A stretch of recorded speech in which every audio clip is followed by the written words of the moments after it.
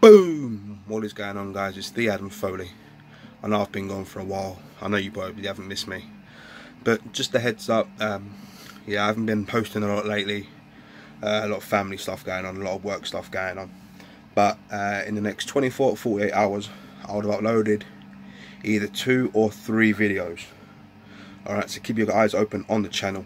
I've, I've got to get through editing War Games 2 and then obviously Sunday just gone. Watched it last night TLC fucking mad. And also our Ring of Honor's final battle which I know two people went to.